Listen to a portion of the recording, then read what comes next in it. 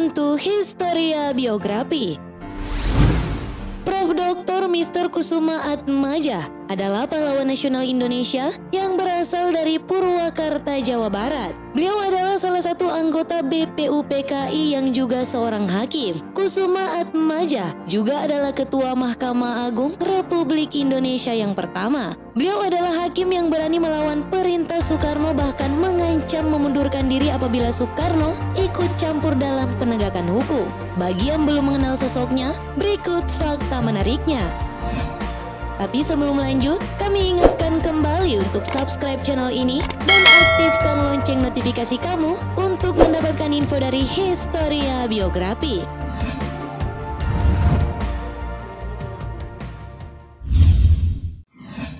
Kelahiran dan pendidikan. Dr. Mr. Kusuma Atmaja lahir dengan nama kecil Raden Sulaiman Effendi Kusuma Atmaja dilahirkan di Purwakarta, Jawa Barat pada tanggal 8 September 1898 dalam sebuah keluarga terpandang sebagai Raden Sulaiman Effendi Kusuma Atmaja Kusuma Atmaja pun dapat mengenyam pendidikan yang layak. Ia memperoleh gelar diploma dari Head School atau Sekolah Kehakiman pada tahun 1913. Kusuma Atmaja mengawali karirnya sebagai pegawai pengadilan pada tahun 1919. Ia diangkat sebagai pegawai yang diperbantukan pada pengadilan di Bogor. Tahun itu juga, ia mendapatkan beasiswa untuk melanjutkan pendidikan hukumnya di Universitas Leiden Belanda. Pada tahun 1922, Kusuma Atmaja jam menyelesaikan studinya. Gelar Doktor Indares Gelar Head pun diperoleh dengan disertasi yang berjudul The Mohammedan State from Stingsteen in India, lembaga ulama Islam di Hindia Belanda. Dalam disertasinya itu, Kusuma Atmaja menguraikan hukum wakaf di Hindia Belanda.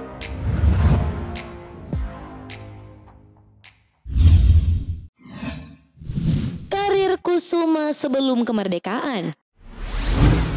Setelah menyelesaikan pendidikannya, Kusuma Atmaja pulang ke Hindia Belanda. Kusuma Atmaja langsung ditawari menjadi hakim di Rajvan Justiti, setingkat pengadilan tinggi Batavia. Setahun berkiprah di sana, Kusuma Atmaja langsung diangkat menjadi Voorzitter Landrat, ketua pengadilan negeri di Indramayu. Kiprahnya sebagai hakim pun semakin malang melintang pada era pemerintahan Hindia Belanda. Ia pernah tercatat sebagai hakim pengadilan tinggi Padang, ketua PN Semarang, dan hakim PT Semarang.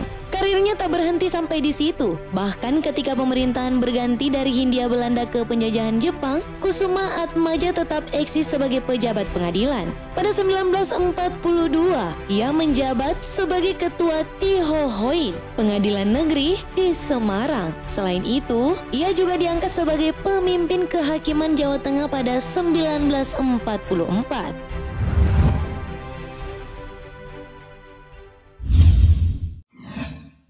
Hakim yang mendukung hukum adat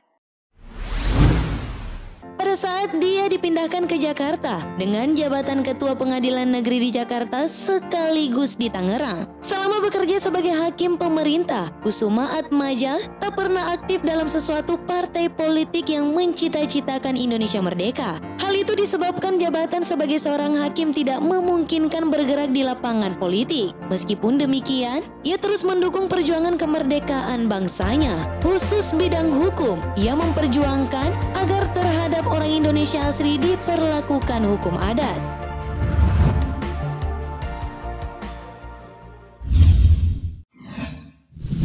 Menjadi anggota BPUPKI Kusuma Atmaja menjadi anggota Badan Penyelidik Usaha Persiapan Kemerdekaan Indonesia atau BPUPKI pada tanggal 29 April 1945. Badan ini dibentuk sebagai upaya mendapatkan dukungan bangsa Indonesia dengan janji Jepang akan membantu proses kemerdekaan Indonesia. Setelah kemerdekaan, tepatnya tanggal 19 Agustus 1945, Presiden Soekarno melantik atau mengangkat Kusuma Atmaja sebagai Ketua Mahkamah Agung Republik Indonesia yang pertama. Antara tahun 1946 sampai dengan 1950, Mahkamah Agung pindah ke Yogyakarta sebagai ibu kota Republik Indonesia. Kusuma Atmaja tetap menjadi Ketua Mahkamah Agung Republik Indonesia.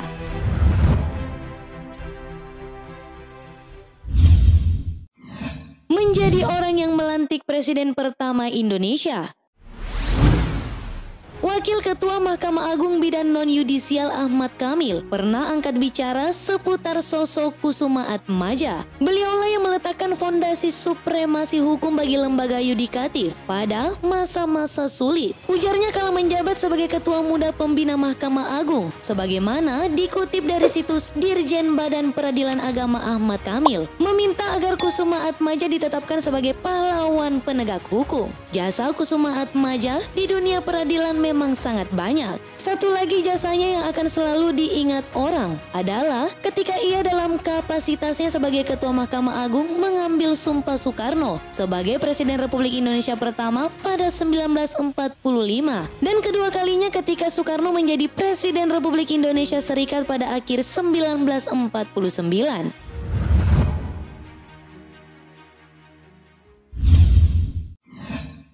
Tidak takut dengan Soekarno.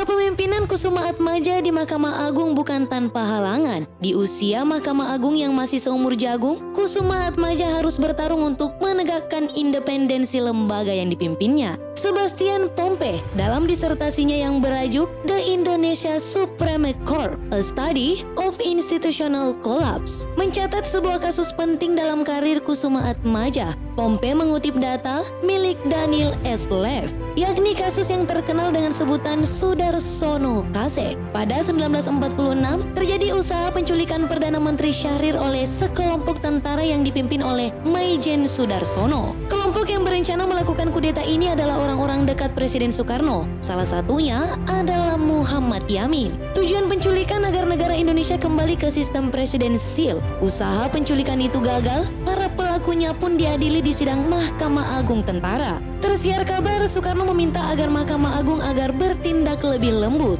Kusuma Atmaja pun berang. Ia mengancam akan mengundurkan diri dari Ketua Mahkamah Agung, kecuali Soekarno mundur dari kasus tersebut. Ia pun menegaskan, salah satu wujud independensi kekuasaan kehakiman adalah bebas dari intervensi eksekutif.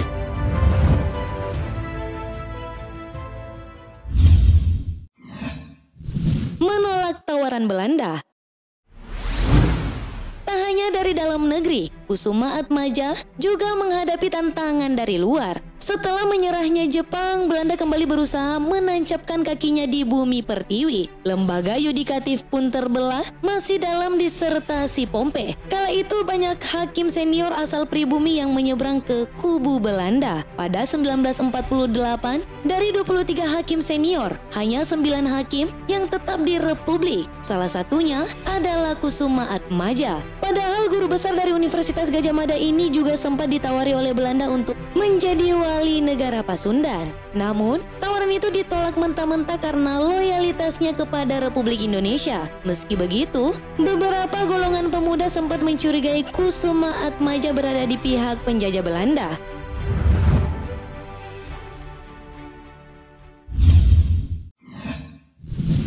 Akhir hayat sang hakim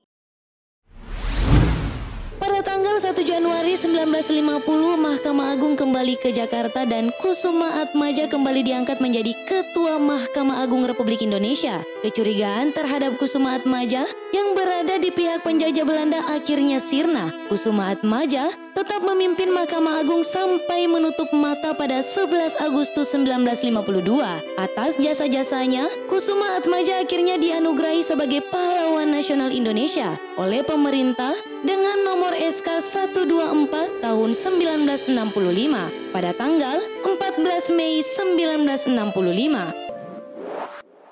Terima kasih telah menonton video ini. Jangan lupa like and share serta sampaikan kritik dan saranmu di kolom komentar. Sampai bertemu kembali di video Historia Biografi selanjutnya.